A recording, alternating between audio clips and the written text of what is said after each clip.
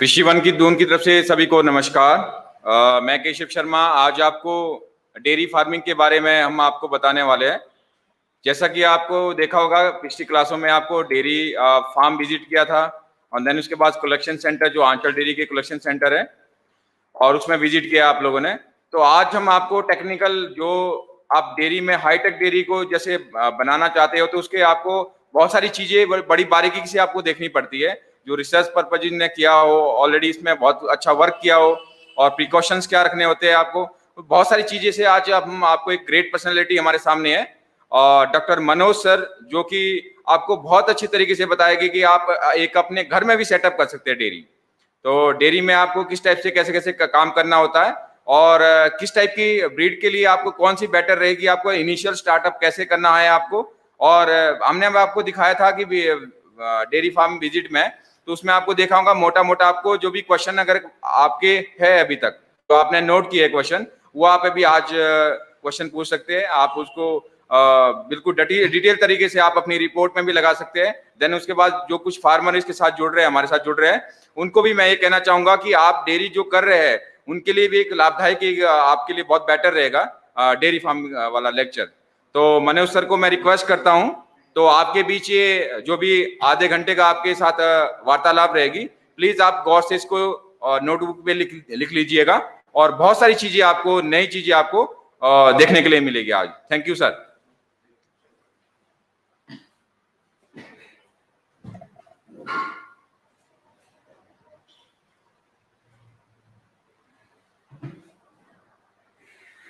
धन्यवाद sir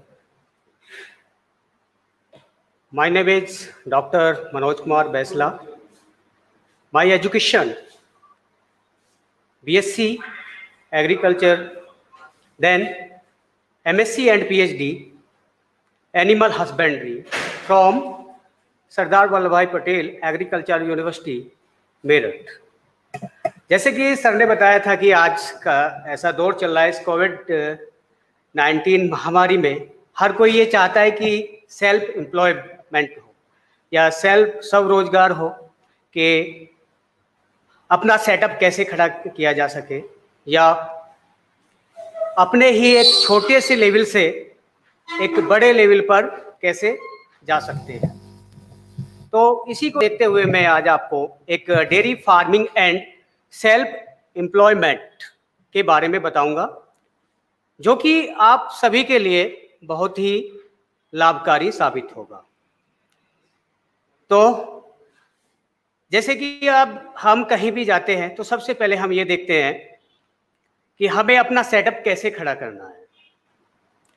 अगर setup खड़ा करने के लिए हमें बहुत चीज़ देखनी पड़ती है, जैसे सबसे पहले हमें एरिया देखना पड़ेगा कि हमें अपनी डेयरी जो है, वो कहाँ पे इस्टेब्लिश करनी है या उसको डेवलपमेंट करना है। तो उसके लिए सबसे पहले आप अपने गाँव के आसपास या जो भी मार्केट है, उसके आसपास भी अपना सेटअप खड़ा कर सकते हैं। या आप अपने गाँव में भी या अपने घर पे भी इसका सेटअप खड़ा कर सकते हैं। एक, दो या तीन गाय या भैंस लेकर भी आप इसका स्टार्ट कर सकते हैं। जैसा कि आप देखते हैं कि आजकल फार्मर के सामने सबसे बड़ी प्रॉब्लम होती है चारे की। कि मान अगर हम इस सेटअप को खड़ा करना चाहते हैं तो हमें जो उसका भोजन है एनिमल का, या उसका जो चारा है, वो कैसे हम उसका डेवलपमेंट करेंगे? तो उसके लिए आप जो है, सबसे पहले अगर कोई फार्मर है, उसके पास तो ऑलमोस्ट लैंड रहती है तो उसको कोई प्रॉब्लम नहीं है। वो आसानी से इसको कम खर्चे में अपना स्टार्ट कर सकता है। जैसे आजकल बहुत सारी योजनाएँ गवर्नमेंट सरकार दे रही है एनिमल्स पे तीन या चार गाय या भैंस रखने के लिए वो लोन प्रोवाइड करवाती है। तो वो सरकार से भी आप लोन ले सकते हैं। अगर आप उससे लोन लेना नहीं चाहते हैं तो सेल्फ अपना आप भी काम स्टार्ट कर सकते हैं। लेकिन ऑलमोस्ट क्या होता है, सभी के पास पैसा नहीं है। तो सेटअप खड़ा करने के लिए पैसे की ज़रूरत होती है। अगर आपको डेयरी फार्म खड़ा करना है तो पैसा की बहुत ही इंपॉर्टेंट है यहाँ पर। क्योंकि पैसा ऐसी चीज़ है आप उस सेटअप को एक छोटे लेवल से ऊपर तक ले जा सकते हो।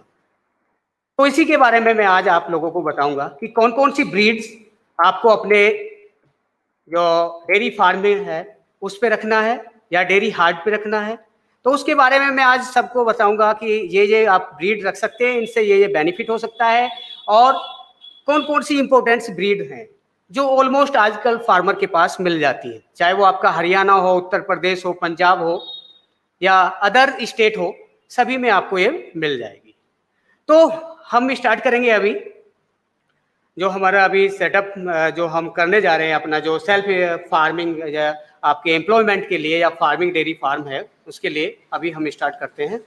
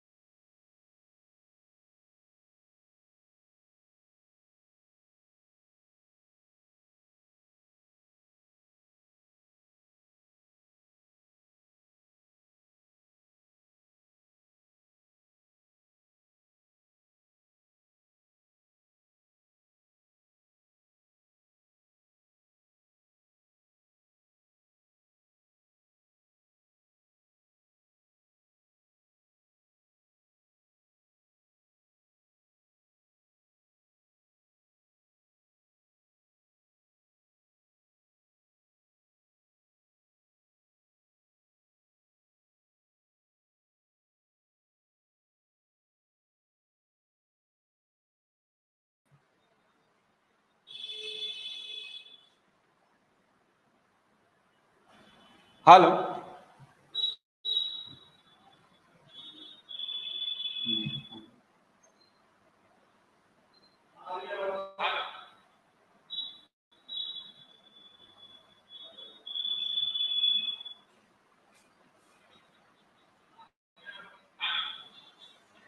okay sorry for interruption students थोड़ा वॉइस का प्रॉब्लम हो गया था बट अब वो सॉल्व है। और अब सर आपको जो भी आपके क्वेश्चंस हैं प्लीज़ वो भी पुट कीजिए।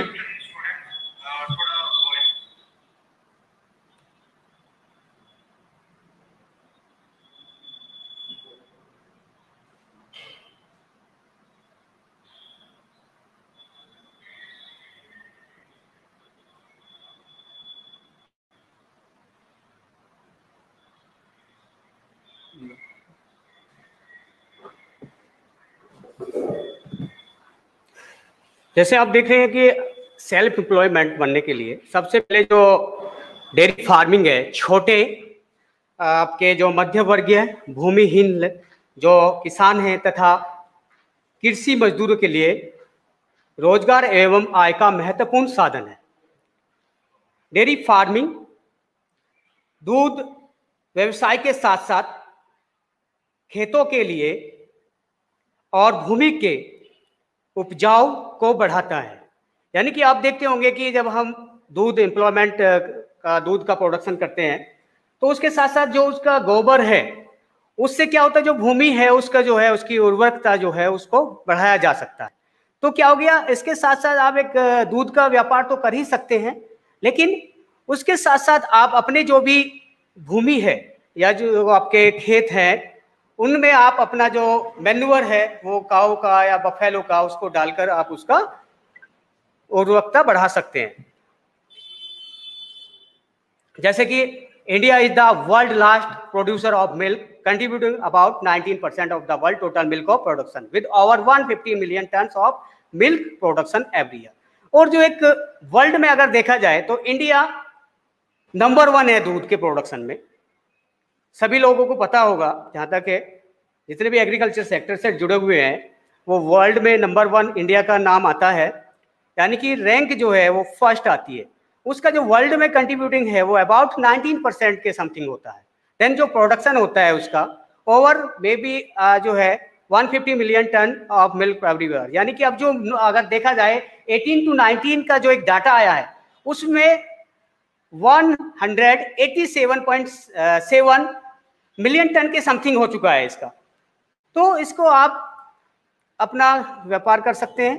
तो जैसे मान लिया to open a dairy for purchase of animals come on roof and on some equipment land water for dairy farming electricity diesels engine warehouse and loan facilities are also provided from the government processing to set up a large unit form the National Agriculture and Rural Bank, Animal Husbandry Department, Dairy Cooperative Department, and University's Dairy Department also assist in the construction of the dairy units. It is a very important to have dairy farming training for set up a dairy farm unit. Besides the veterinary doctor, it should also be installed. यानी कि आप देख रहे होगे, अगर हमें कोई भी डेयरी सेटअप करना है तो उसके लिए हमें इक्विपमेंट की आवश्यकता होती है।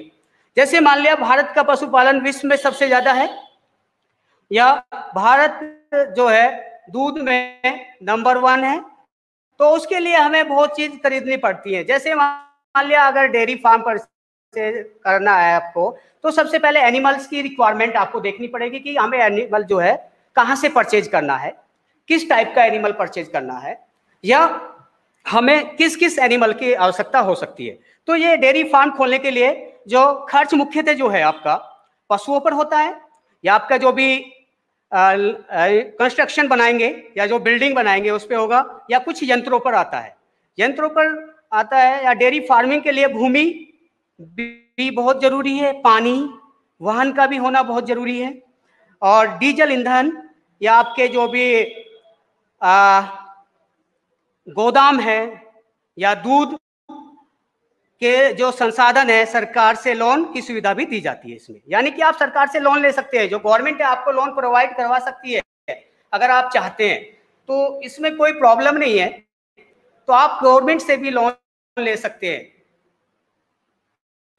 देन बड़ी इकाई स्थापित करने के लिए, जैसे मान लिया अगर हमें कोई बड़ा इकाई स्थापित करनी है यूनिट स्थापित करनी है तो जो national agricultural and rural bank है तो इससे आप लोन ले सकते हैं। ये भी आपको लोन दे सकता है। देन जो भी परामर्श करना या रोज़गार आरंभ कर सकते हैं, इसके अतिरिक्त पशुपालन विभाग या डेयरी सहकारिता विभाग है आपका। उन्नत डेयरी फार्म है या आजकल एग्रीकल्चर यूनिवर्सिटियाँ हैं, उनमें भी एक डेयरी डिपार्टमेंट होता है या एनिमल हस्बेंड्री डिपार्टमेंट होता है तो उनसे भी आप इसको बनाने में सहायता कर सकते हैं। वहाँ जाकर उनसे बात कर सकते हैं कि हमें इतना एनिमल्स का जो है सेटअप खड़ा करना है। तो वो भी आपकी हेल्प कर सकते हैं। गवर्नमेंट तो आपकी हेल्प करेगी ही करेगी। वो आपको लोन दे देगी। लेकिन जो भी आपके एनिमल हस्बेंड्री डिपार्टमेंट या डेयरी कोऑपरेटिव डिपार्टमेंट्स होते हैं या यूनिवर्सिटीज होती हैं, उनमें जो प्रोफेसर होते हैं, वो आपकी इस डेयरी फ़ार्मिंग को सेटअप करने के लिए आपकी हेल्प कर सकते हैं। देन डेयरी फार्म इकाई स्थापित करने के लिए डेयरी फ़ार्मिंग सुरक्षा का होना बहुत ज़रूरी है। इसके अतिरिक्त पशु चिकित्सा एवं कृत्रिम गर्भधान की सुविधा भी होना बहुत ज़रूरी है। यानी कि अगर आप देखते हैं आ, कि अगर हमने डेयरी फार्म स्थापित तो कर लिया लेकिन उसके साथ साथ जो चिकित्सा है उसकी या उसकी कृत्रिम गर्भधारण की जो समस्या है जो उसको हमें करवाना है तो उसके लिए भी हम पहले से ही क्या एक सेटअप करके चलते हैं कि हमें जो वेटनरी डॉक्टर होते हैं, उनकी हेल्प ले सकते हैं। यानी कि जो आपका कृत्रिम ब्रीडिंग है, यानी कि जो आर्टिफिशियल हम इसको कह सकते हैं इंग्लिश में तो आर्टिफिशियल ब्रीडिंग करने के लिए हमें ए आई की ज़रूरत पड़ती है। यानी कि ए आई मीन्स आर्टिफिशियल इंसिमिनेशन तो इंसिमिनेशन जो होता है, उससे भी आप वेटनरी डॉक्टर के द्वारा करवा सकते हैं। तो ये होगी आर्टिफिशियल देन नेचुरल जो आपकी ब्रीडिंग है, उसके लिए आपको पता ही है, जैसे मान लिया कोई बुल है और काव है, उसकी हम डायरेक्ट जो ब्रीडिंग कराते हैं, उसको हम नेचुरल ब्रीडिंग कहते हैं। तो अब हम आपके सामने जो है, ये features and benefits of dairy farming क्या क्या इसके फीचर्स हैं या उसके क्या क्या बेनिफिट्स हैं डेयरी फ़ार्मिंग करने के? तो सबसे पहले हम the main features and benefits of dairy farming और दस यानी कि जो ये ये इसके बेनिफिट्स हैं। जैसे मान लिया हमने देखा होगा ऑलमोस्ट ऑल द नब्बे परसेंट तक milk is produce by dairy farming यानी कि नब्बे परसेंट तक मिल्क कहाँ से मिलता है? जो एक डेयरी उत्पादन डेयरी फ़ार्मिंग द्वारा किया जाता है। तो उसके कुछ बेनिफिट्स हैं और फीचर्स हैं जो आपके सामने हैं। फ़र्स्ट है इसमें जैसे clean and clean milk production यानी कि साफ़ एवं स्वच्छ दूध उत्पादन। कैसे कर सकते हैं हम? Clean and clean milk production सबसे पहले हमें क्या करना है? जो भी आपके पास एनिमल हर्ड है या जो भी लेव स्टॉक आप डेवलप करना चाहते हैं तो उसके लिए आपको सबसे पहले क्या वहाँ की सफ़ाई, जहाँ पे एनिमल बनता है या आप बांधते हो तो वहाँ की पहले, सबसे पहले सफ़ाई करनी चाहिए। देन उसके बाद आप उसका एनिमल्स का काउ या बफेलो का दूध निकाल सकते हो। देन सेकंड नंबर पे है इसका increase in agricultural income sorry जो इनकम है एग्रीकल्चर आपने देखा होगा, आप जो आप जीडीपी आई है फ़िलहाल तो उसमें क्या सबसे ज़्यादा जो है एग्रीकल्चर का दिखाया गया है। एग्रीकल्चर एक ऐसा सेक्टर है जो कभी भी उसकी जीडीपी घटती नहीं है, बढ़ती ही चली जाती है। ऐसे कोविड नाइन्टीन के देखते हुए देखा है कि उसकी जो जीडीपी है वो थ्री पॉइंट समथिंग ऊपर गई है, लेकिन और जितने भी संगठन है, उनकी सबकी जीडीपी घटी है। लेकिन एग्रीकल्चर सेक्टर में यही सेक्टर ऐसा बचा है, जो आपका कभी भी डिक्रीज नहीं हुआ है। जैसे मान लिया प्रोडक्शन पर मिल्क एंड एल्ड पर एकड़ third maximum use of land for fodder and animal husbandry यानी कि जो आपका मैक्सिमम जो लैंड है वो क्या करते हैं हम? ज़मीन का अधिकतर जो उपयोग है, चारे और पशुपालन के लिए हम करते हैं। यानी कि गाँव में क्या करते हैं हम? ज़्यादातर सभी के पास गाँव में एनिमल्स होते हैं, पशु होते हैं तो उनके लिए क्या करते हैं? वो चारे के लिए मैक्सिमम लैंड का यूज़ करते हैं। ठीक है? Then thirty percent water saving और इससे जो है आप तैतीस प्रतिशत तक पानी की बचत हो सकती है। Increasing in operation of production of scheduled agriculture war यानी कि समय निर्धारित करने जो कार्य का संचालन में, उत्पादन में बढ़ोतरी भी कर सकते हो आप। यानी कि अगर समय से किसी भी चीज़ का आप उपयोग कर रहे हैं, या जो भी आपके निर्धारित कृषि कार्य हैं उनको संचालन करने के लिए आपको एक शेड्यूल बनाना पड़ेगा। तो उससे क्या है, आप इससे जो आपका एनिमल्स है, उससे आप इनकम ले सकते हो। देन जो आपके small amount of fertilisers use and use of indigenous manure by land investigation तो आप आपका जो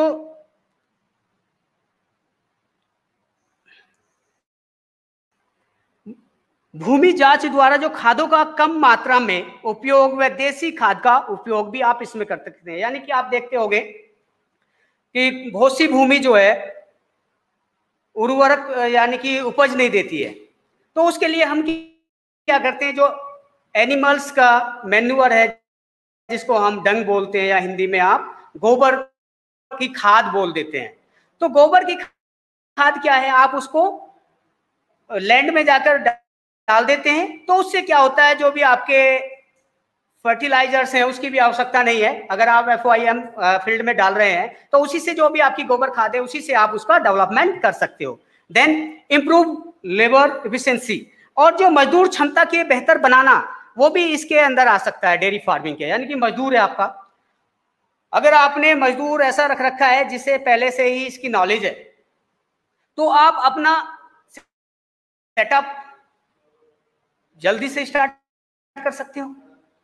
या उसको आप समझाने की ज़रूरत नहीं पड़ेगी लेबर को। वो अपना आप ही ऑटोमेटिक उसको बताने की ज़रूरत नहीं है, वो अपना कार्य करता चला जाएगा। तो इसलिए क्या होता है इंप्रूव लेबर इफिशियंसी होना बहुत ही ज़रूरी है, यानी कि मजदूर क्षमता के बेहतर बनाने भी इसका एक बेनिफिट्स या आपके फीचर्स हैं। Then make advance sale capacity multi section labour force यानी कि जो उन्नत कुशल क्षमता के बहुखंड शक्ति योजना जो होती है या शक्ति श्रम शक्ति बनाने का, उसको हम कर सकते हैं। Then correct of balance animal feed less stress in animal structure यानी कि जो भी आपका पशुओं की सही चयन, अगर हम पशुओं का सही चयन नहीं कर रहे हैं तो उसमें बहुत ज़्यादा दिक्कत आ जाती है अगर आपको सेटअप खड़ा करना है। तो इसमें मेन चीज़ है पशुओं का चयन करना। या उनका सिलेक्शन करना। यानी कि सिलेक्शन अगर करेक्ट है आपका एनिमल का तो आपको बेनिफिट हो सकता है, ठीक है? अगर आपने सिलेक्शन ही गलत कर दिया एनिमल्स का, यानी कि आपको कोई देसी काव आपने लेनी है, या आपको कोई मुर्रा बफेलो या आपकी साहिवाल है, या आपकी हॉलिस्टन फ्रीजन है, उनको ना लेके कोई अदर्स आपने ब्रीड ले ली तो उनसे क्या होगा? जो उसकी मिल्क कैपेसिटी है, वो बहुत कम होती है, जो एक देसी काव होती है। तो अगर आपको ज़्यादा मिल्क प्रोडक्शन करना है तो आपको ये साहिवाल या आपके रेड सिंधी है और आप ऑफ़ बैलेंस है और एनिमल रसन होता है, एक आइडियल रसन होता है, ये बहुत ही ज़रूरी होता है। तो इसके लिए आपको एक अच्छा चयन करना पड़ेगा, जिससे कि आपका सेटअप एक अच्छे से उसके बेनिफिट मिल सके या उसका अच्छे से उपयोग कर सके। देन जो आपका good quality and nutrient rich fodder availability हाँ ये सबसे बढ़िया इंपॉर्टेंट पॉइंट है आपका। अगर अच्छी गुणवत्ता और पोषक तत्वों से भरपूर चारे की उपलब्धता है आपके पास तो आप अच्छे से उसको better good quality and nutrient rich fodder availability होना बहुत ही ज़रूरी है। Then role protection and prevention of air and water pollution और जो भूमि का संरक्षण एवं हवा और पानी का प्रदूषण से बचाव भी इसका बेनिफिट है। यानी कि जो आपके विशेषताएँ हैं या लाभ है, वो आपको करना ही करना पड़ेगा। अदरवाइज़ अगर ये आप नहीं करते हैं तो आपको डेयरी फार्म सेटअप करने में by earthworms can also become another main source of income along with dairy farming. अब इसमें बात आ रही है कैचुओं की। जैसे कैचुओं द्वारा खाद का उत्पादन भी डेयरी फ़ार्मिंग के साथ साथ आय का एक और मुख्य स्रोत बन सकता है, है। यानी कि आप गोबर की खाद है। तो उसको क्या करते हैं आप लोग कि केचुए की खाद भी आप बना सकते हैं जिसे हम वर्मी कंपोस्ट बोलते हैं। तो आपको जो है आपकी अदर्स जो मेन सोर्स है या इनकम है वो आपको तैयार करते हैं तो उससे आपको एक्स्ट्रा इनकम मिल जाती है।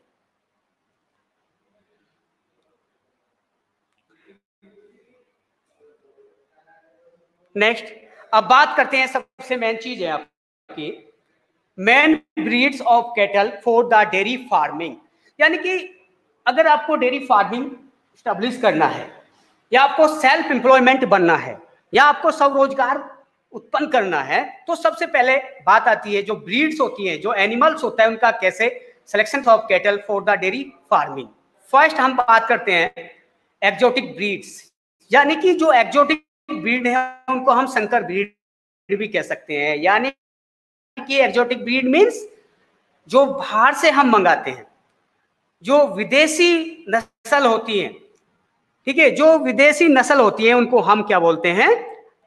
संकर ब्रीड बोलते हैं या एक्जोटिक ब्रीड्स बोलते हैं। जैसे फ़र्स्ट इसमें देखा जाए तो जर्सी जो ब्रीड है the home of this breed is Jersey island in the Channel islands.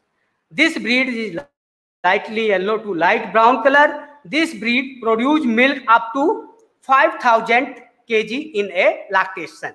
The heifers are bred at an age 14 to 18 month. The animals is small in size with a good capacity for milk production.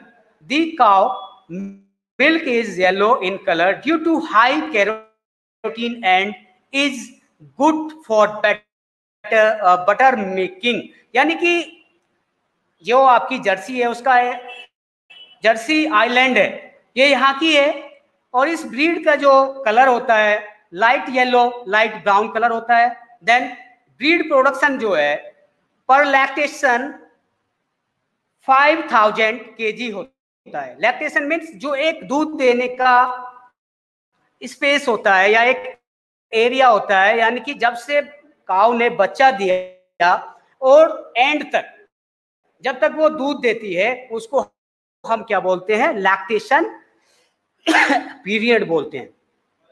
Then जो इसकी हिपर्स होती हैं, जो बछिया, बछड़ी होती है, इनकी जो कटिया होती हैं, उनको जो बछड़ी होती है, उनके जो हम चौदह से अठारह मंथ में ये तैयार हो जाती हैं, का, यानी कि मेटिंग के लिए।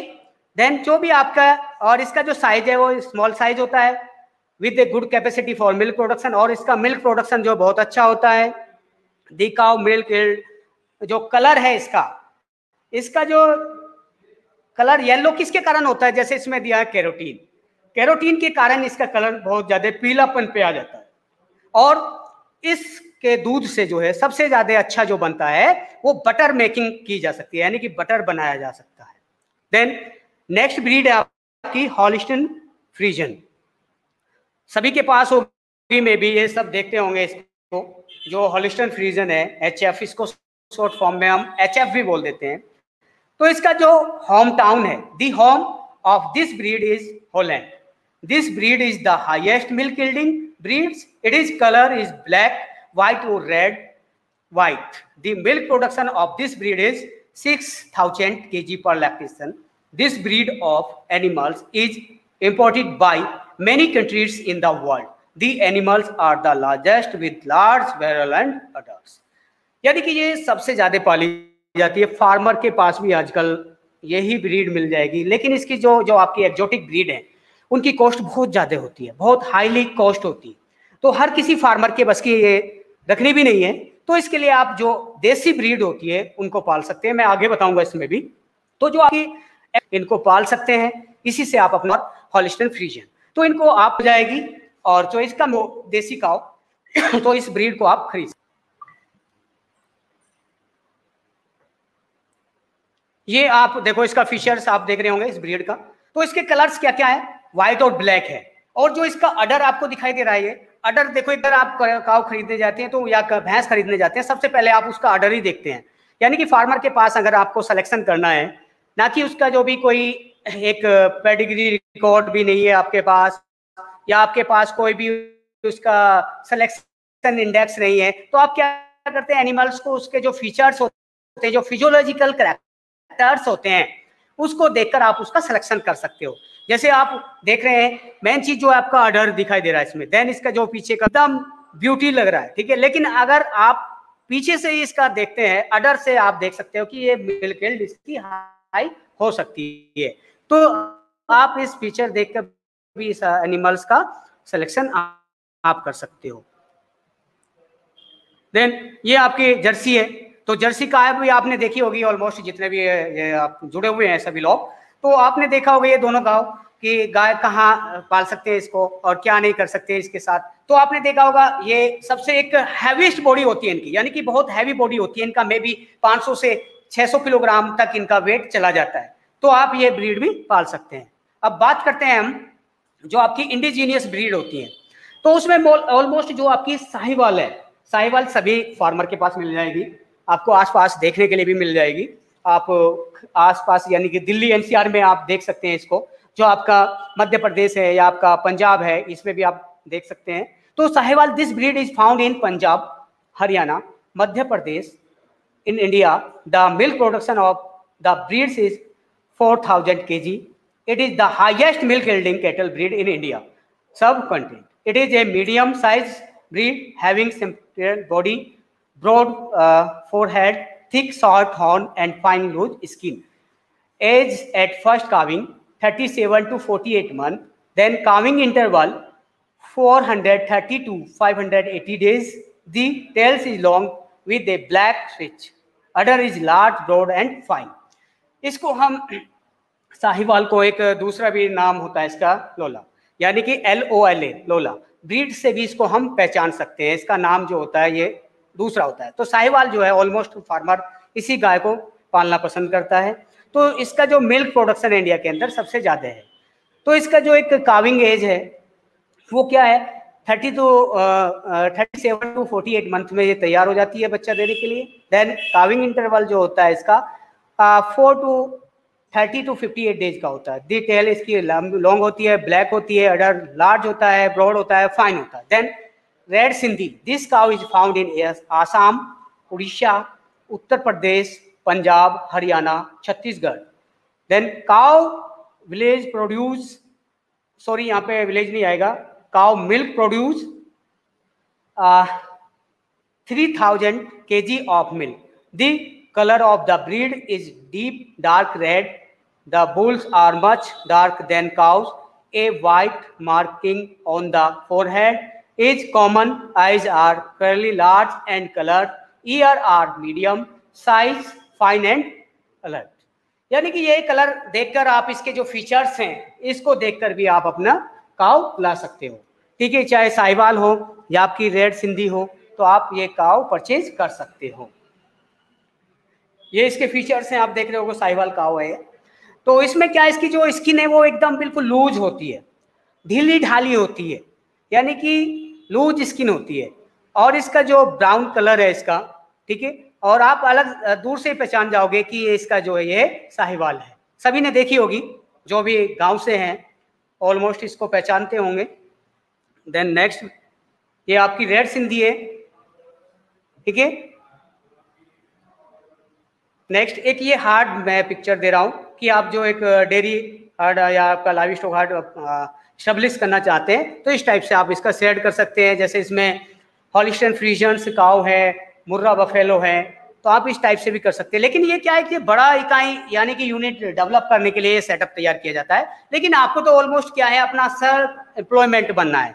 यानी कि अगर आप चाहें तो इसको जॉब के साथ साथ भी इस कार्य को कर सकते हैं। यानी कि थ्री या फोर काओ आप रखकर या बफेलो रखकर इस काम को स्टार्ट कर सकते हैं। ज़्यादा की ज़रूरत नहीं है कि हमें फिफ्टी या हंड्रेड काओ या बफेलो रखनी है। ओनली मे बी थ्री या फाइव काओ या बफेलो रखकर भी आप इसको स्टार्ट कर सकते हैं।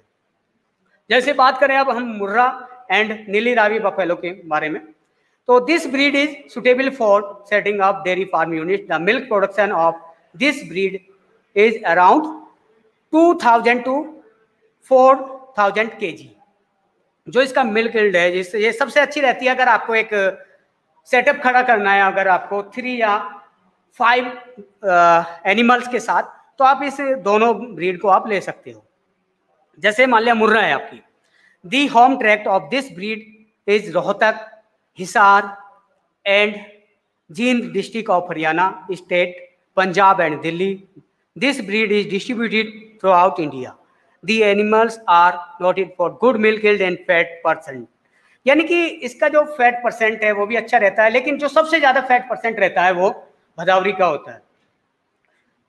Then the colour of the animals is jet black with white switch of the tail which is long in reaching the flat lock the skin is soft and smooth the she buffalo had a deep massy firm with a capability light neck and head यानी कि इसका colour बिल्कुल एकदम jet black होता है। यानी कि बिल्कुल काली होती है। अभी आगे दिखाऊँगा मैं इसके फीचर्स ठीक है ना? और ये एक बहुत भारी भरकम होती है। यानी कि इसकी बॉडी साइज़ भी बहुत ज़्यादा होता है। The the horn are short and tightly curled the forehead is broad and slightly prominent in males face is fine out white marking and eyes prominent in white females the udder is well developed with prominent milk vein जो vein होती है and good size teeth यानी कि अच्छा जो इसकी जो milk अडर वाली जो नसें होती हैं, जिनको हम नस बोल देते हैं कि ये जो दूध वाली नसें हैं तो वो एकदम क्या होनी चाहिए? एकदम उभरी हुई होनी चाहिए। जब जाके आपको पता चलेगा कि ये दूध देने वाली है देन जो इसका फैट परसेंट होता है, इसमें सेवन टू नाइन परसेंट होता है देन लैक्टेशन पीरियड जो है इसका थ्री हंड्रेड डेज़ का होता है। तो ये आपकी मुर्रा है, आपके सभी जानते होंगे, इसको देखा होगा। तो ये मुर्रा बफेलो है और ये मुर्रा बुल है। अब नीली रावी की बात करते हैं हम। जो ये पाकिस्तान की है, यानी कि दी एनिमल्स जो फाउंड जो है, कहा पाकिस्तान में मिलती है, यानी कि जो एक मोन्टोगमरी डिस्ट्रिक्ट है, वहाँ की ये ब्रीड है। एंड फ्रोज फिरोजपुर डिस्ट्रिक्ट ऑफ़ पंजाब ये जो फिरोजपुर पंजाब में भी मिलती है, जो नीली रावी है, यानी कि जो इसका नाम है नीली रावी, क्यों पड़ा है? यानी कि the name Neeli Ravi comes from the supposedly blue waters of river and Sutlej river यानी कि इन बीच, इन दोनों के बीच की है ये ब्लू पानी बहता है जहाँ तो वहाँ की ये मिलती है कि इसका नाम उसी के कारण यहाँ का क्या हो गया? नीली रावी पड़ गया। Then animals of this breed are distributed all over India and Pakistan. The buffaloes are heavy milker and the males animals are used for heavy road work. The lactation period of 250 days in this breed. The color of animals is black with white marking on the forehead, face, nose and large. तो इसके जो features हैं ये आपके सामने हैं नीले रावी के नेक्स्ट अब बात करते हैं हम मेन इंपॉर्टेंट पॉइंट की जो आपके लिए चाहिए। यानी कि क्या क्या पॉलिसी होती हैं? Policy of department of animals and dairy for dairy farming क्या क्या चाहिए? यानी कि डेयरी फार्म इकाई, पशुओं के लिए जो मुख्य विभाग की नीतियाँ हैं क्या क्या होनी चाहिए? जैसे मान लिया cow production and cow promotion यानी कि गौ संरक्षण एवं गौ संवर्धन। जैसे मान लिया if dairy units farming is set up in the state of Haryana under the cow con conservation and cow promotion policy is generate more interest in the farmers toward the cow and increase the productivity of the breed. So there is a provisions of 50% grant money and there is a provision of 25% grant for dairy animals like buffalo dairy unit. Scheduled caste cattlemen want to adopt self-employment through dairy farming. So 50% grant is available for the dairy unit of three milk animals so that he can strengthen his economic condition by improve. Apart from this, the annual incentive amount from 10 to 20,000 is given on the basis of milk production for the production of cow of Haryana breeds. And in Sahiwal, which gives more milk. And the farmer brothers are taking great advantage of this. यानी कि आपका जो एक गो संरक्षण एवं गो संवर्धन जो है, हरियाणा राज्य में आपने देखा होगा, सबसे ज़्यादा इसका उत्पादन किया जाता है यानी कि आप देखते हैं, वहाँ पे हरियाणा सरकार ने जो है एक शेड्यूल कास्ट है, या जो भी आपके छोटे किसान है, फार्मर है, उनके लिए क्या किया है हरियाणा राज्य में गो संरक्षण एवं गो संवर्धन नीति के तहत किसानों में गोवंश के प्रति अधिक रुचि पैदा करने के लिए तथा देसी गाय नस्लों की उत्पादकता बढ़ाने के लिए यदि डेयरी इकाई फ़ार्मिंग स्थापित की जाती है तो तो 50 प्रतिशत अनुदान राशि का प्रावधान है। तथा दुधारू पशुओं जैसे भैंस की डेयरी इकाई के लिए अगर आप 25 प्रतिशत अनुदान राशि प्राप्त कर सकते हो जो अनुसूचित जाति के पशुपालक हैं, यदि उन्हें डेयरी फ़ार्मिंग स्थापित करना है या उसको सब रोज़गार उत्पन्न करना है या अपना सब एम्प्लॉयमेंट बनना है सेल्फ एम्प्लॉयमेंट तो वो अपना सकते हैं। तो इसके लिए क्या किया है, तीन दुधारू पशुओं को लेकर डेयरी का जो है का के लिए पचास प्रतिशत अनुराशि उपलब्ध होती है। यानी कि जो एक शेड्यूल कास्ट वाले हैं, अगर वो तीन एनिमल से स्टार्ट करता है तो उसके लिए क्या कर रहे हैं, जो हरियाणा सरकार है, वो पचास प्रतिशत उसको अनुदान देती है। देन ताकि वो अपनी आर्थिक स्थिति को सुधार कर सके। इसके अतिरिक्त अधिक दूध देने वाली साहिवाल या आपके जो भी हरियाणा नस्लों गाय के परिरक्षण व उत्पादन के लिए दूध उत्पादन के आधार पर जो है दस से बीस हज़ार रुपये तक वार्षिक प्रोत्साहन राशि भी दी जाती है। और किसान भाई इसका काफ़ी लाभ उठा भी रहे हैं। देन जो आपकी एक इंटीग्रेटेड मुर्रा डेवलपमेंट स्कीम है उसके अंतर्गत जो आप क्या कर सकते हैं यानी कि under this scheme buffalo of Murrah breed which gives 15 K G milk more than this they are given an annual intensive of 15,000 to 13,000 then buffalo of Murrah breeds are also purchase by the animal husbandry department at a good price यानी कि इस योजना के तहत अगर मुर्रा नस्ल की भैंसों का आप, अगर पंद्रह लीटर दूध दे रही है तो इससे अधिक दूध देती है तो उसके लिए क्या करती है, जो गवर्नमेंट है, आपके लिए पंद्रह से तीस हज़ार रुपए का वार्षिक प्रोत्साहन राशि दी जाती है। तथा उसके साथ साथ जो भी मुर्रा बफेलो के जो कटड़े या बछड़े होते हैं, उनको खरीदने के लिए वो गुड प्राइस, यानी कि फार्मर के पास अगर कोई वैसे जाता है जैसे मान लिया कोई कसाई अगर गाँव में जाता है तो वो अच्छे दाम नहीं दे पाता है, जो भी उनके कटड़े होते हैं या बच, जो छोटे छोटे बछड़े होते हैं, उनको वो नहीं दे पाता है, गुड प्राइज नहीं दे पाता। तो इसलिए क्या किया है, जो गवर्नमेंट है वही उसको खरीद लेती है अच्छे प्राइस पे, जिससे कि उनको एक इनकम का सोर्स मिल जाता है। देन एक बात करें, अगर बीमा योजना की बात करते हैं हम इसमें, जो इंश्योरेंस पॉलिसी है, जो इंश्योरेंस पॉलिसी है, जैसे मान लिया लाइव स्टॉक ऑनर जो होता है, यानी कि पशुपालक अपने पशुओं जैसे गाय, भैंस का बीमा मात्र सौ रुपए में करवा सकते हैं। Then this insurance is free for all animals for the schedule caste और जो भी अनुसूचित जाति के पशुपालकों के लिए यह बीमा बिल्कुल मुफ़्त है। यानी कि उनको कोई भी देने की ज़रूरत नहीं है, वो अपना बीमा करवा सकते हैं, जो गवर्नमेंट के रूल हैं।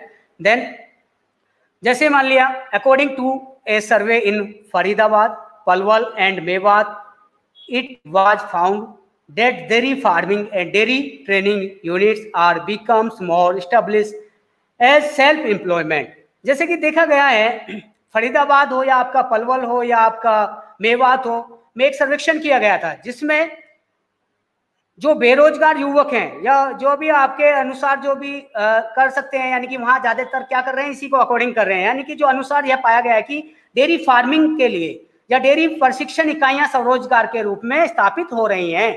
यानी कि जैसे आप कृषि वन की बात करें तो यहाँ भी तो एक यही कार्य किया जा रहा है कि आपको कैसे खेती करनी है या आपको कैसे पशुपालन करना है। तो आपको ये क्या है, हर जगह अगर देखा जाए, दिल्ली एनसीआर के आसपास भी ये इकाइयाँ स्थापित हो चुकी हैं कि कैसे ज़्यादा से ज़्यादा स्वरोजगार अपनाया जा सके या सेल्फ एम्प्लॉयमेंट बनाया जा सके। तो उसके लिए ये यूनिट तैयार हो रही है।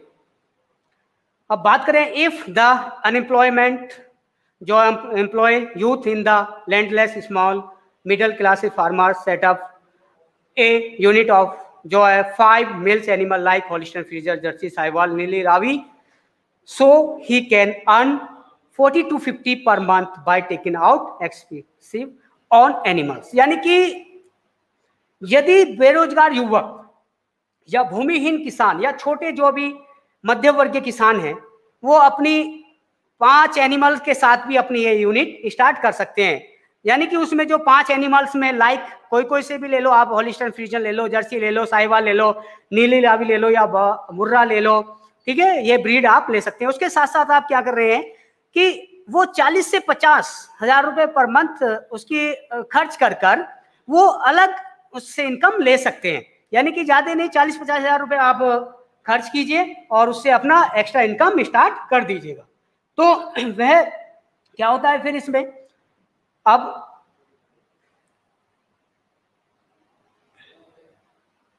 जैसे मान लिया अगर आप खर्च करना चाहते हैं, किस पे? Expensive on animals electricity fodder है आपका मेडिकल मेंटेनेंस है एंड सीलिंग ऑनली मिल ठीक है, इनके लिए आप क्या कर रहे हैं? रख रखाव के लिए भी आप कर सकते हैं, जैसे 40 से 50 रुपए प्रतिमा कमा सकते हैं और यदि आप दूसरे विभिन्न उत्पादन खरीदने के लिए भी आप पैसा इसमें से लगा सकते हैं, जैसे मान लिया आपका फोडर है या आपका मेडिसिन मेंटेनेंस का भी है या मिल्क प्रोडक्शन का भी है। And different products are made from milk then income can be increase future और फ्यूचर के लिए आप इसकी इनकम कर सकते हैं। Then along with the member और number of animals doubling after two years और दो साल बाद, यानी कि आप इसको डबल कर इनकम कर सकते हैं। स्टार्टिंग में क्या है, आप चालीस पचास हज़ार रुपए कमा सकते हैं, लेकिन उसके बाद आप डबल इनकम भी आप कर सकते हैं। देन जैसे आप देख सकते हो A one A two protein in found in high quantity in desi cow milk आजकल ये सुनने में बहुत ज़्यादा आ रहा है कि यार ए वन और ए टू मिल्क जो है, ये क्या है? जो अपनी देसी काउ है, उनमें आप ए वन जो प्रोटीन है ठीक है? ए वन प्रोटीन इनमें मिलता है देन ए टू प्रोटीन जो है, वो आपकी जो हाइब्रिड है, उनमें पाया जाता है। तो इसमें अपनी जो भी देसी काव है, उनमें ए टू और ए वन दोनों ही प्रोटीन जो है, वो हाई क्वांटिटी में मिलते हैं, जो भी देसी काव है आपकी, ठीक है? तो ज़्यादातर लोग बाग इसको खरीद रहे हैं तो वो क्यों खरीद रहे हैं? क्योंकि ये दूध सबसे अच्छा है। पहले से ही जब तक हमारी ये एक्जोटिक ब्रीड नहीं थी तो ऑलमोस्ट देसी काव पर ही फार्मर निर्भर था। तो आजकल क्या है, ज़्यादातर एक्जोटिक ब्रीड खरीदना पसंद कर रहा है, क्योंकि उसको मिल्क जो है, उसको ज़्यादा से ज़्यादा चाहिए। अगर उसको मिल्क चाहिएगी तो वो क्या है इनकम का सोर्स भी उसके लिए है, क्योंकि मिल्क जहाँ ज़्यादा बिकेगा, उतने ही उसको इनकम आएगी, या उसके जितने भी अदर्स प्रोडक्ट में बिकेंगे, उतनी ज़्यादा इनकम फार्मर को मिलेगी। तो वो क्या कर रहा है आज के टाइम में, वो एक्जोटिक ब्रीड रखना पसंद कर रहा है। जो देसी काव है, उसको रखना पसंद ही नहीं करता है। क्यों? क्योंकि उसका जो मिल्क है वो बहुत ही कम है। Maybe three to five litre per day के हिसाब से देती है लेकिन जो अदर्स होती है वे ट्वेंटी ट्वेंटी से अब तक मिल्क दे देती है। Then a young man on a job work from ten A M two five P M तक। और मान लिया कि एक आदमी जो यंग आदमी है वो सुबह से शाम तक अगर 10 से 5 बजे तक जॉब कर रहा है तो उसके बीच में भी ये अपना सेटअप खड़ा कर सकता है। Then but by the adopting dairy units farming, more than 20 animals as a self-employed can earn 5 to 6 lakh. There is no time limit, there is no age limit, and all banks provide loan facility for dairy farming. यानी कि अगर आपको 20 से animals तक more than 20 animal तक आपको dairy farm unit establish करना चाहता है तो वो अपना सेल्फ एम्प्लॉयमेंट कर सकता है तो इसके लिए वो पाँच से छह लाख की इनकम वो आराम से कमा सकता है तो उसके लिए ना तो कोई लिमिट है ना उसके लिए कोई एज की बाउंडेशन है, ना कोई उसके लिए कि आपको पैसे की ज़रूरत है तो आप बैंक में जाकर आप लोन ले सकते हो। अगर 20 से ज़्यादा आप एनिमल्स रखना चाहते हैं तो अभी बहुत योजनाएँ गवर्नमेंट चला रखी है, जैसे आपके अभी यूपी में एक कामधेनु योजना चल रही है, अभी भी चल रही है। तो उसमें क्या होता है, उसमें 25 एनिमल्स से अबव के लिए वो जो है 75 परसेंट तक सब्सिडी दे देता है और 25 परसेंट जो है वो आपको खुद वहन करना पड़ता है। तो इसको अपनाकर आप अपना सेल्फ एम्प्लॉयमेंट बन सकते हैं। तो आज का ये अगर आपको कोई क्वारी है तो आप बता सकते हैं। कोई भी अगर आपको सेटअप खड़ा करना है, अगर कोई भी प्रॉब्लम आती है तो आप, संपर्क कर सकते हैं।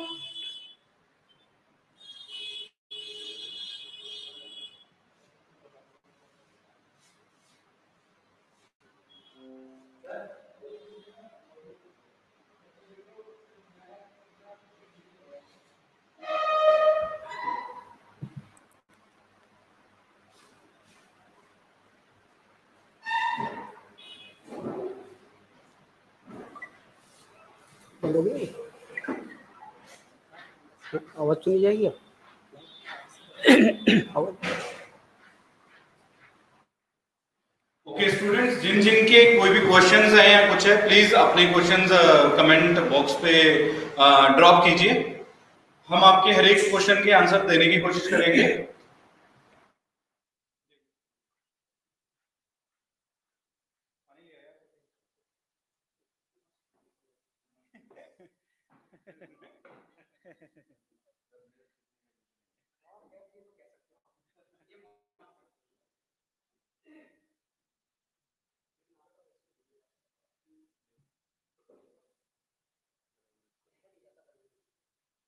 म्यूट है भाई म्यूट है।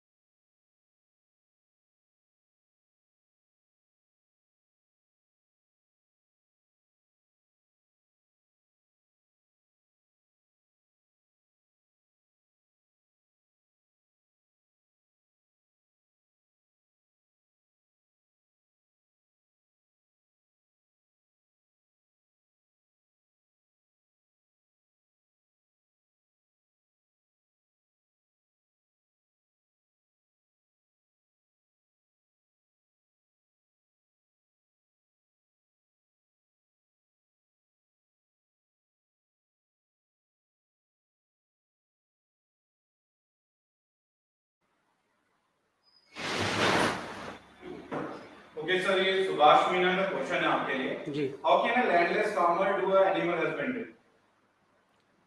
जैसे आप मैंने अभी बताया था इसमें जैसे कोई लैंडलेस फार्मर है तो उसके लिए क्या है गवर्नमेंट जो है लोन प्रोवाइड करवा रही है। भारत सरकार भी इस पे ज़्यादातर ज़ोर दे रही है कि खुद अपना स्वरोजगार उत्पन्न कीजिए। तो आपने देखा होगा कि फार्मर के लिए तीन या चार गाय या भैंस रखने के लिए गवर्नमेंट उसको आपका लोन प्रोवाइड करवाएगी। तो उसके लिए आप, जो आपके ब्लॉक लेवल स्तर पर आप जाकर संपर्क कर सकते हैं, या जो भी आपके ग्राम प्रधान है, उनसे भी इस बारे में बात कर सकते हैं कि, सर, मुझे अपने जो है गाय, भैंस के लिए लोन लेना है। तो वो आपको बताएँगे कि आप इस इस पर्पज से जाकर इस बैंक में जाइए, या आप किसी ब्लॉक लेवल पर जाइए, वो सब आपको पूरी डिटेल प्रोवाइड करवा देंगे। तो आप अपने जो ग्राम प्रधान है उससे संपर्क कीजिए। ओके नेक्स्ट क्वेश्चन है सोफिया खान का। वो पूछ रहे हैं सर इनिशियल सेटअप के लिए इनिशियल हम्म। सेटअप के लिए सॉरी इनिशियल सेटअप के लिए बफेलो या फिर काउ कौन ज़्यादा बेटर रहेगी? एंड इन्हें पेयर में लेना ज़रूरी है क्या? नहीं पेयर में लेना कोई ज़रूरी बात नहीं है। आप काव भी रख सकते हैं गाय भी रख सकते हैं। क्योंकि देखो भैंस जो है आपकी भैंस पे जो अगर हम देखा जाए कॉस्ट ज़्यादा आ जाती है। ऑलमोस्ट क्या है, अगर छोटा फार्मर है या लैंडलेस फार्मर है तो वो गाय को आसानी से पाल सकता है। तो इसके लिए आपको काव और बफेलो अगर आप दोनों ही रखना चाहते हैं तो वो भी सुफिशेंट है अच्छा है बेटर है। लेकिन अगर आपके पास मनी की शॉर्टेज है तो आप इनमें से कोई भी एक ले सकते हो। ओके सोफिया ना आपको शायद पॉजिटिवली अपना आंसर मिला होगा। और किसी का भी क्वेश्चन है प्लीज़ अपने क्वेश्चंस ड्रॉप कीजिए और हम क्लैश करेंगे। और हम, हमारे पास सिर्फ़ पाँच से दस मिनट है, जिसमें हम आपके हर क्वेश्चन का आंसर देंगे। और ओके सुभाष मेरा का फिर क्वेश्चन है sir bank provides subsidy on its own और has to contact other government branch हाँ वैसे गवर्नमेंट ब्रांच से ही आप लें तो बेटर है। वो जल्दी आपको लोन भी दे देगा। और उसमें ज़्यादा आप प्रॉब्लम भी नहीं आएगी, क्योंकि जो भी आपके गवर्नमेंट बैंक हैं, उनको सब पता रहता है कि हमें किस बेस पे लोन देना है या किस सेटअप के लिए लोन देना है फार्मर को क्या क्या उसके पास होना चाहिए और क्या नहीं होना चाहिए, वो सब कुछ देख लेता है। और जो भी आपका एक, कहते हैं ना गारंटी गारंटी के लिए क्या है अब? आजकल जो भारत सरकार ने ये कहा कि अगर छोटा सेटअप आप करना चाहते हैं तो उसके लिए कोई भी गारंटर की आवश्यकता नहीं है। तो इसके लिए आप सीधा बैंक में भी जाके संपर्क कर सकते हो, कोई प्रॉब्लम नहीं है। ओके तो सुभाष मीना आपको थोड़ा सर ने गाइड कर दिया होगा कि कैसे अगर आपको स्टार्टअप करना है कुछ तो कैसे आप गवर्नमेंट या गवर्नमेंट के द्वारा या कुछ कैसे सब्सिडी या जैसे जो भी आपको क्वेश्चन था, उसके रिलेटेड आपको आंसर मिल चुका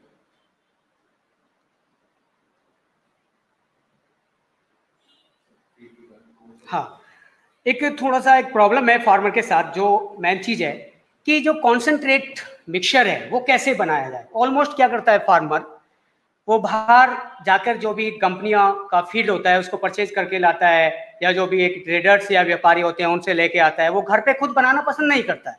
जबकि अगर वो अपना ही फ़ीड या जो दाना है, उसको घर पे बनाए तो उसके लिए बेटर बन सकता है। और लो कॉस्ट में, यानी कि चीप कॉस्ट में वो आप घर पे बना सकते हैं। यानी कि बहुत ही कम खर्च में आप उसको बना सकते हैं। जैसे कि फार्मर के पास दाना पहले से ही रहता है, चाहे आपका मस्टर्ड हो कॉटन हो, या आपके जो अदर्स ऑयल केक्स हैं, या जो भी सीड्स हैं, उनसे आप बना सकते हो। तो इसके लिए एक रेशो में आपको फ़ीड तैयार करना होता है। यानी कि जो कंसनट्रेट मिक्सचर है, वो तैयार करना होता है। उसके लिए मैं आपको बताना चाहता हूँ आप लिख भी सकते हो इसको, अगर आप लिखना चाहते हैं। नहीं तो आप अपना आप ही इसको कर सकते हो, माइंड में ले सकते हो। तो इसके लिए सबसे पहले आपको जो डाइजेस्टिव प्रोटीन होता है, यानी कि डाइजेस्टिव प्रोटीन जो होता है, उसके लिए आप पंद्रह परसेंट ले सकते हो। देन टोटल जो एनर्जी होती है, उसके लिए भी आप सत्तर परसेंट आप इसमें रख सकते हो मिक्सचर में। देन एक रॉ प्रोटीन है, वो बीस परसेंट रख सकते हो। देन जो फाइबर होते हैं फाइबर मीन्स जो आप रेसेदार या रसीले जो भी फ़ीड से उनको आप सत्रह परसेंट रख सकते हो। या मैक्सिमम जो एस होता है, वो आप फोर परसेंट रख सकते हो। देन और जो आपके मिनरल मिक्सचर की बात कर रहे हैं तो वो टू परसेंट होना चाहिए। और इसके साथ साथ हमें वन परसेंट जो साल्ट होता है, वो भी आपको इसमें मिक्सअप करना चाहिए। अब बात करोगे कि सर ये तो आपने एक रेशियो बता दिया कितने परसेंट में क्या क्या होता है। तो इसमें मैं बताना चाहूँगा जैसे कि आगे आपको फॉर एग्ज़ाम्पल मैं बताना चाहता हूँ। पीनट है, या आपका कॉटन है, या मस्टर्ड है, या आपके अदर्स केक है तो उनके लिए आपको क्या करना है? सबसे पहले आप 30 से 35 किलोग्राम तो उसको खल लेनी है, चाहे उसमें आपकी पीनट हो या आपका कॉटन हो या आपकी मस्टर्ड केक हो तो आप उसका जो रेशो रखोगे, कितना 30 से 35 का रखोगे उसमें, यानी कि 30-35 किलोग्राम रखोगे देन दो किलोग्राम इसमें मिनरल मिक्सचर कर लिया और जो कैन में जो है वन के जो रॉक साल्ट होता है, जिसको हम सेंधा नमक भी बोल देते हैं, वो भी इसमें मिला सकते हो। तो इसका एक मिक्सचर हमें हंड्रेड परसेंट का करना है। तो इसमें दो चीज़ दी है मैंने मिनरल मिक्सचर और साल्ट ये आपको एक प्रॉपर वे में ही रखना है। इससे अगर ज़्यादा या कम करोगे तो हो सकता है कि कुछ दिक्कत हो जाए। लेकिन वैसे आप इसी रेशियो में रखोगे तो बेटर रहेगा। यानी कि two kilogram mineral mixture then one kilogram जो रोक साल्ट आता है, जिसको हम हिंदी में सेंधा नमक बोलते हैं। तो इसको क्या होता है? कंसनट्रेट जो मिक्सर है, जो एक आपका जो दाना है, तैयार करने के लिए हंड्रेड के का हम रेशो रखते हैं। तो इसमें आप चाहे खल रख लो, कोई सी भी तो हमें एक रेशो में क्या होता है? हंड्रेड परसेंट का करना यानी कि हंड्रेड के का करना है तो आप इस रेशो को इसमें रख सकते हो। ठीक है? ओके सर ये नेक्स्ट क्वेश्चन है। uh, Subhash Meena for the for a minimum amount of money, the bank provides loan without guarantee. So, this मेरे ख्याल से वो बोलना लोन दे सकता है। देखो, मीना जी, मैं आपको एक बात बताना चाहूँगा। बैंक जो है, जो जिसके पास लैंड है या जो भी अदर्स अब फ़िलहाल जो गवर्नमेंट योजनाएँ चल रही हैं, वो 75 परसेंट सब्सिडी दे रहे हैं। देन 25 परसेंट का जो है, जो फार्मर होता है, वो खुद अपना आप लगाना पड़ता है, चाहे उसकी लैंड हो या अदर्स जो भी इक्विपमेंट वे खर्च करे 25 परसेंट वो लगाएगा। वो क्या होता है? पहले वो सेटअप खड़ा करेगा तब आपको जो ये भी 75 परसेंट तक सब्सिडी जो बैंक आपको दे सकता है। देन जो भी क्वारी है आपकी, इससे रिलेटेड जो लोन लेना है आपको थ्री या फाइव कार के लिए तो आप क्या कर सकते हैं? जो बैंक में जाके आप मैनेजर से बात कर सकते हैं। तो मैनेजर जो है आपको पूरा टोटल डिटेल बताएँगे कि आपको इसमें क्या क्या करना है, कितना हम आपको लोन दे सकते हैं विदाउट गारंटी या आपको अगर गारंटी भी लेनी है तो जो आपका मे बी जो गाँव गाँव का जो प्रधान होता है, उससे भी ले सकता है कि हाँ भाई, ये आदमी ठीक है, ये कर सकता है, इस सेटअप को या नहीं कर सकता है। तो ये सब चीज़ देखेगा वो गाँव में जाके। ऐसे नहीं कि आप चले गए बैंक मैनेजर के पास, सर, मेरे को लोन चाहिए। तो वो लोन नहीं, ऐसे नहीं देगा। पहले आपकी पूरी डिटेल्स निकालेगा कि ये बंदा इस काम को कर सकता है या नहीं कर सकता। फिर वो आगे का आपका प्रोसेस बता देगा। तो आपको कोई दिक्कत नहीं होगी। आप बैंक मैनेजर के पास सीधे जाइए।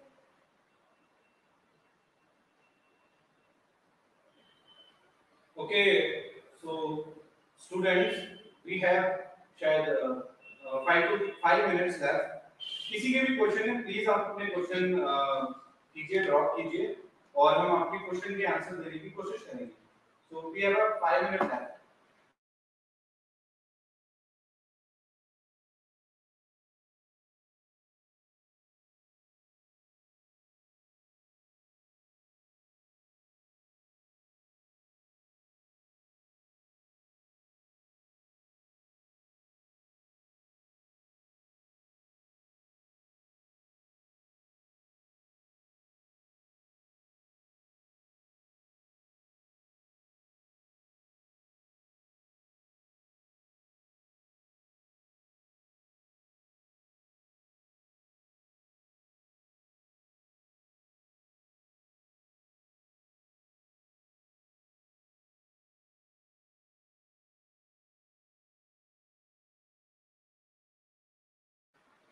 sir Faraz Rahman का क्वेश्चन है।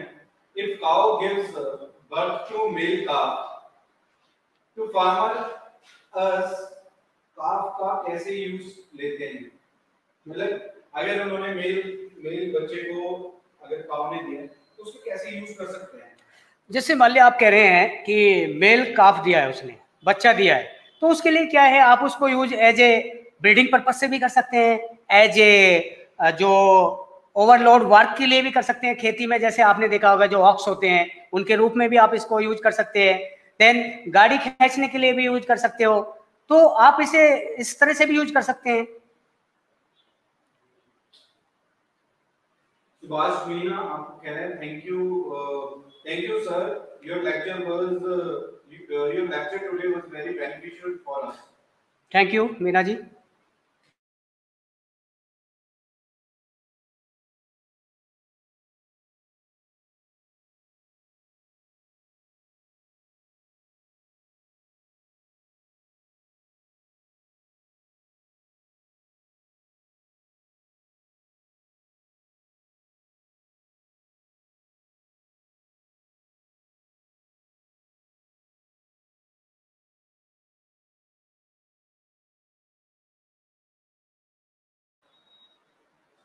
तो स्टूडेंट्स आई थिंक जिन जिन के क्वेश्चन थे उन्होंने वो क्वेश्चंस पूछे हैं और uh, इसी के साथ ही हम आज का अपना ये जो ये सेशन है इसे कंप्लीट करते हैं और कोशिश करेंगे और वीडियोस और चीज़ों के द्वारा और लेक्चर्स के द्वारा आपको और स्किल्स और uh, ऐसी कई चीज़ें आपको बताई जाएँ जिससे आपके स्किल्स और uh, आपकी जो टेक्निक्स हैं वो डेवलप हो।